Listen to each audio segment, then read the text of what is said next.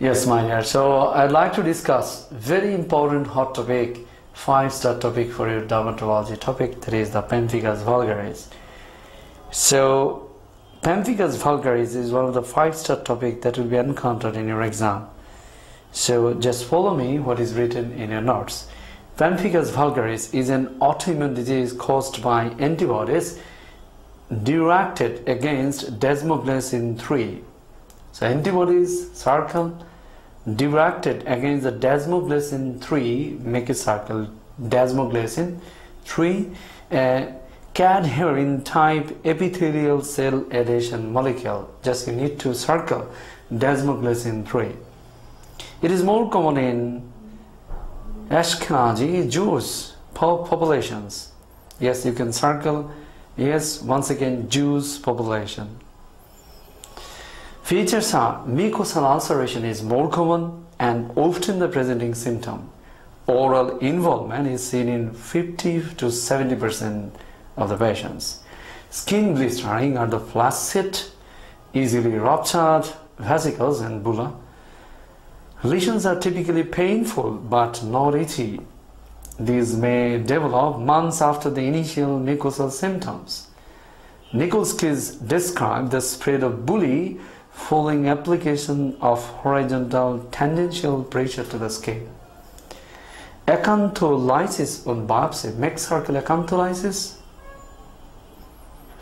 and skin blistering makes circle flaccid means the easily ruptured vesicles and bullae flaccid and another word the Nikolsky, the, this sign, the circle in your notes. Mucosal ulceration is also another important part. So my dear, I'd like to go through these blistering or bulla skin lesions. I'd like to discuss a little bit more before going to these pemphigus vulgaris. Just follow me what is written as a box. So the most common encounter, right, the bulla's disease, then I'll just list over there, so that will be helpful. Here's number one, then I say the pemphigus vulgaris. So pemphigus vulgaris. Second disease is the pemphigoid. I'm just writing pem. Yes, that will be really helpful. Pemphigus vulgaris. Just write it down in your notes. Pemphigus vulgaris. Next point, the pemphigoid. So I'm just putting the P for the pemphigoid. So yes, pemphigoid. Yes. Third disease is very important in your exam. Yes, that is the porphyria cutanea tarda. Porphyria cutanea tarda. Fourth important part that is very important in your exam once again that is dermatitis herpetiformis. Fifth disease that is encountered look like or we can say the disease of disease we can say the differential diagnosis of vesicles blisters or bullae bullae, multiple bulla called the bullies, all right? So differential the vesicles, blisters, and bullae. So these differentials you need to remember. So once again, I said the pemphigus vulgaris, second is the pemphigoid, and third is the porphyria cutanea and fourth is the dermatitis herpetiformis. So if I write the dermatitis,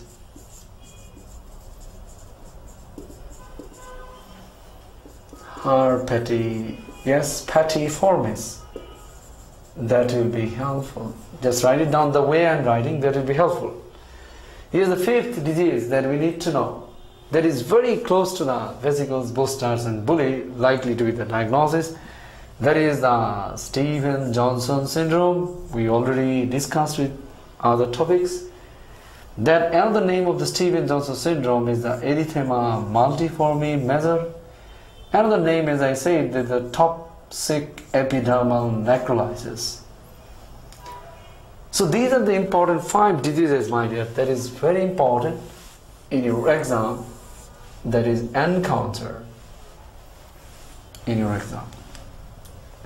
So what I said basically, basically, I tried that put the all the p's are your differentials, provided that I'm making an watershed here. Because these four, first, second, third, and fourth, these fourth are the mainly, they are producing the vesicles, blisters, and bullae, but the fifth disease, the Stevens-Johnson syndrome, look like bullae, but they are not the blisteric skin lesions or something like that. So we need to discuss the four important points, a very important pathognomonic features of each and every diseases that will be think about the details of the diseases will be helpful. Just look at the board, that is very important. Listen very carefully, the pemphigus vulgaris, the word of the vulgaris is really important, just write it down, is superficial. Vulgaris is vulgar, is a superficial. So vulgaris means superficials. Just write, write it down. Means the superficial blisters. In contrast, the pemphigoid, that is the deep blisters. Yes. So if there is a superficial blisters in the skin, so there will be chance of the blisters will be fragile and the most of the blisters look to be broken down right? So this is important. So superficial blisters so the most of the superficial blisters means most of the blisters mostly already broken down. Just write it down mostly broken. In contrast the deep blisters mostly intact. Right and very important differentiating point the pemphigus vulgaris. Vulgaris is a mucous membrane involvement but in deep blister the pemphigoid no mucous membrane involvement. You can write minus mn means no mucous membrane involvement. So that these first two diseases we are making a box that way. So that will be helpful. So as I say, pemphigus vulgaris, vulgaris the superficial blisters, most of them are broken, fragile, and mucous membrane formed. Deep blisters within the deep layers of the skin, pemphigoid, deep blisters, then most of them are intact without mucous membrane formation. So this is the two important diseases that we need to understand. Next disease is the Porphyria cutanea tarda. So Porphyria cutanea tarda is really important. Porphyria, the word said, the cutanea tarda. Cutanea means the cutaneous manifestation. What I say, the Porphyria, the word P is really important. That is P for photosensitive areas. That is important. Means the photosensitive areas superficial blisters just write it down sup blisters means the superficial blisters over the photosensitive area. And photosensitive areas means the dorsum of the hand and the face but forget the face only the dorsum of the hands. So photosensitive area just write it down dorsum of the hands.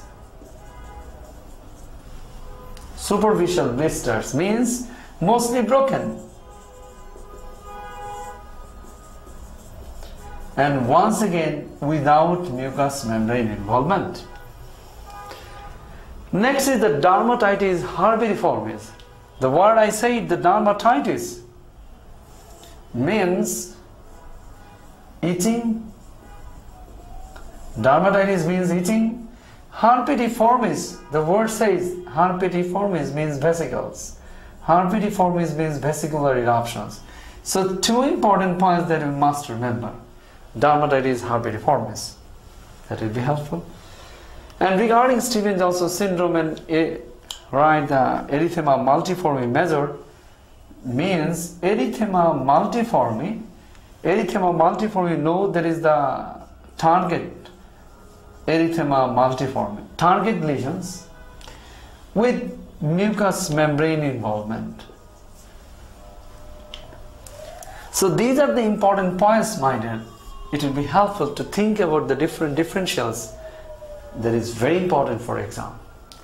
So once again, the differential diagnosis of the vesicles, blisters and bullae.